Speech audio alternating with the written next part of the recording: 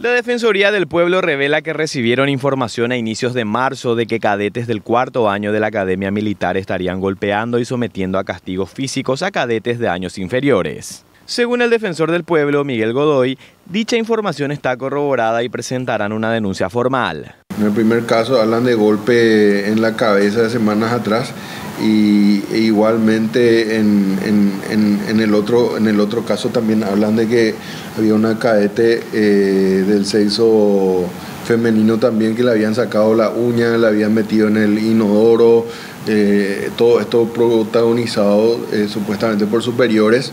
Tuvimos conversación con una de las víctimas que sí corroboró en, a modo, digamos, de, de, una declaración eh, de que sí fue víctima de, este tipo de hechos. Eh, en consecuencia abandonó inclusive la carrera militar.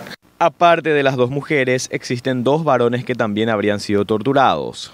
Uno se llama Alcides Mancuello y está actualmente internado en el hospital militar por una neumonía, sin embargo, presenta lesiones en la clavícula y en tres costillas. Las autoridades de la Academia Militar ya tienen conocimiento de la denuncia de la Defensoría del Pueblo, sin embargo, Godoy indica que minimizaron la situación. La reacción inmediata de algunos, algunas autoridades militares fue llamarme y tratar de explicarme que por el tema de la pandemia, parece que todos le culpamos a la pandemia de que supuestamente no, los chicos no se estaban adecuando a cierta disciplina y habían chicos indisciplinados, pero eso no se puede justificar bajo ningún sentido con el tema de, esta clase de trato indecoroso y, y, torturas y lesiones físicas, ¿verdad?